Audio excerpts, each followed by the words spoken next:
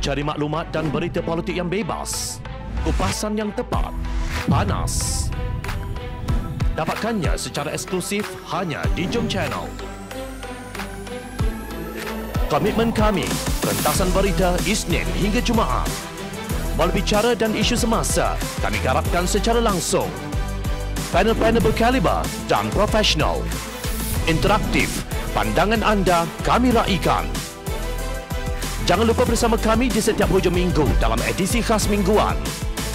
Jom Channel, moving forward, sharing a new experience.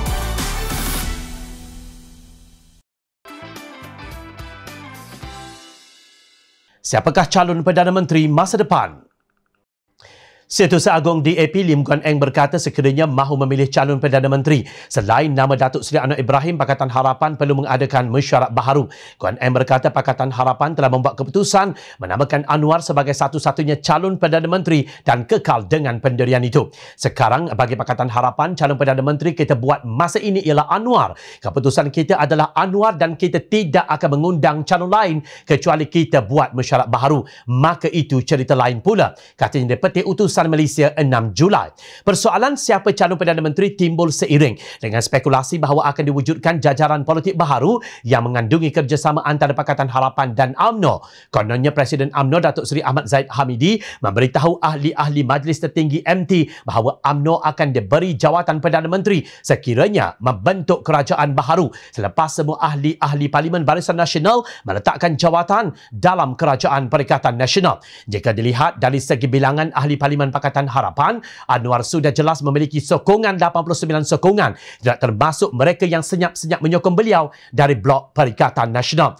UMNO pula sekadar memiliki 38 kerusi ahli parlimen setelah ramai wakil rakyat mereka menjadi katak politik. Pencalonan Anwar telah dibuat sebelum pilihan raya umum ke-14. Dalam perjanjian dengan Tun Dr. Mahathir, beliau hanya memegang jawatan Perdana Menteri sementara sebelum menyerahkannya kepada Anwar. Namun lain pula yang berlaku apabila Datuk Seri Muhammad Azmin Ali dengan sokongan Presiden Bersatu Tan Sri Mahyadin Yassin dan Presiden PAS Datuk Seri Abdul Hadi Awang melancarkan kudeta menerusi langkah Sheraton pada hujung Februari 2020 di saat negara mula diserang COVID-19.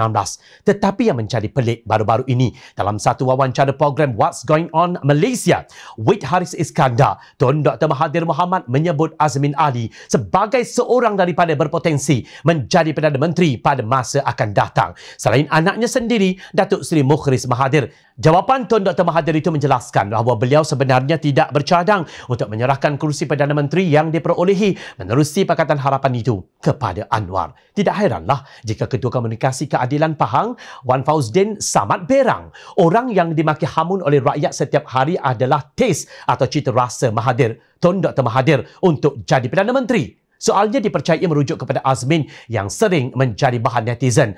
Wan Fauzdin menganggap Tun Dr. Mahathir seorang diktator yang mahu menjatuhkan bekas Perdana Menteri Datuk Seri Najib Razak kerana enggan mengikut kehendaknya bukan kerana prinsip. Mustahil diktator mahu sokong reformasi. Dia tidak malu untuk menyebut manifesto Pakatan Harapan yang beliau tanda tangani itu bukan kitab suci. Dialah sebenarnya perosak kerajaan Pakatan Harapan. Aktivis amanah Muhammad Mukhlis Muhammad Sharif pula mempersoal kenyataan Tun M tentang moral Anwar. Tapi kalau kompas moral dia sangat tinggi, kenapa bila kena benda yang hampir sama pada anak angkat dia, dia tak guna moral kompas yang sama? Soalnya, Azmin dia katakan anak angkat, tu Dr. Mahathir. Lagi satu saya nak tanya, golongan ustaz dan ahli agama dalam pejuang. Bila kita tuduh orang beriman berzina atau liwat dan tak datangkan saksi, bukankah itu kazaf dan automatik jadi fasik? Dan kesaksian orang fasik ini tak boleh diterima dan dipercayai selama-lamanya, ujar Mukhlis berbalik kepada soal siapa calon Perdana Menteri akan datang. Walaupun kedua-dua Azmin dan Mukhris menjadi pilihan Tun M, mereka harus mendapat sokongan majoriti rakyat sebelum berangan-angan hendak menjadi Perdana Menteri Malaysia. Dalam pertandingan ini, Anwar sudah berada di hadapan.